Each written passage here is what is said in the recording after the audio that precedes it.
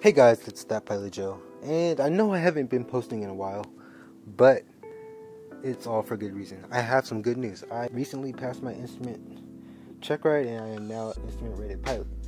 And what that means is I am one step closer to becoming a professional career pilot. The next step is to get my commercial license, which I will do by the end of July, hopefully. And I'm also going to try to post more during that time and not leave you guys stranded. So today is going to be a quick video. I'm just going to go over the features of Stratux and how to use them basically. Um, it's not going to be a full detailed version because I am on the ground right now. But hopefully you guys get the main picture. So without further ado, let's get into it.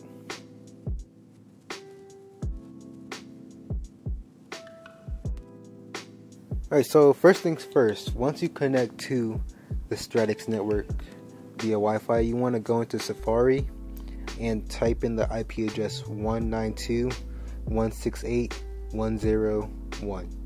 And that is the IP address standard for all Stratux.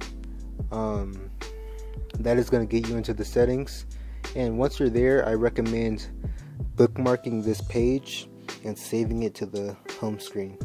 By doing that, you're able to have a app on your home screen just like this one and you can automatically jump into the Stratux settings without going into Safari. So once you're in the settings, um, it's pretty simple here. This is the home page. This shows you how many messages you have from the ADS-B bands um, how many towers you're connected to, how many weather updates you're getting, the amount of GPS satellites in view, and the uptime and CPU temperature. On the next page, there's weather. There's not much in that page, um, nothing actually. I don't know if it's because I'm on the ground or if it just doesn't have anything on this page, but the next page is traffic. I'm in Seattle right now, so there's a bunch of traffic, but not right now. It's pretty late, 9 o'clock p.m. Earlier in the day, there was a lot of traffic when I tried making this video, but it died down a little bit. Um, there's still a couple of planes. On this page, it gives you their call sign, location, altitude, speed, their course, and the time since the last transmission. On the next page, there is a GPS and AHRS data. It just has your GPS location, your AHRS on the right, satellites, and the G meter.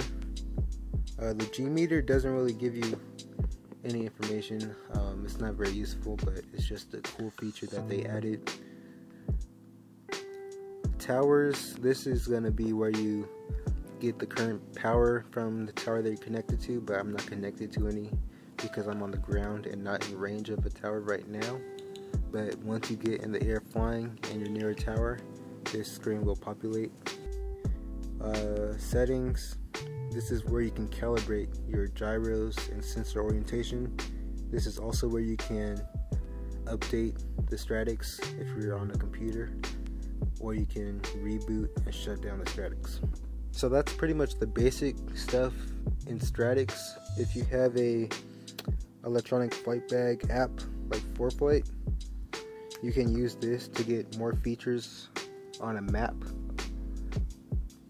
Here in ForeFlight, it's giving me the traffic on the map, and it will also give me the weather if I'm connected to an ADS-B tower. Um, right now, it's giving me Compass Airlines. It shows you your heading, speed, altitude, and the distance away from me. So 3.6 nautical miles northwest. Um, JetBlue Airways, Alaska Airlines, and Delta Airlines. Uh, this page is really cool. It's just fun to look at the traffic sometimes. It's also very helpful when you're in the plane and you don't see the traffic outside, but you know where they are by looking at this map. Um, sometimes on the map when you're flying, it will give you a traffic alert just behind you, uh, like 12 o'clock, zero feet below. That's pretty much your ghost. Um, there's no traffic behind you that close. It's just the ADS-B receiver picking up itself. Um, so don't be alarmed when you see that.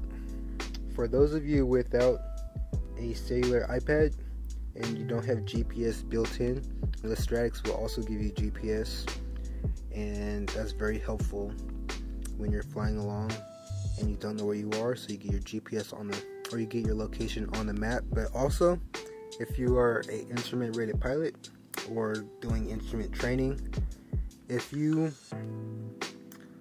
are doing approaches or looking at your approach plates and you have the upgraded ForeFlight subscription, it will give you your location on the plate. And if you put it onto the map, you have your location on there as well as other traffic. And that is really cool. Um, it increases your awareness and can help make you a safer pilot. So that's pretty much it to the Stratux. Um, other than the traffic and the weather, you would get weather right here the METARs, TAFs, winds aloft, NOTAMs, and TFRs. Uh, you would get all of those traffic and GPS. Oh, I forgot one thing. So Stratux has updated their software from my last video. It's revision 5 now instead of 3, I believe. I updated mine. You can update yours the same way we did before using Etcher. If you don't know what I'm talking about, check out my last video and you can see in that video how to use Etcher and how to upgrade or remount the Stratux image on your SD card. But it's supposed to give you attitude information and it's not doing anything right now because it's outside not moving.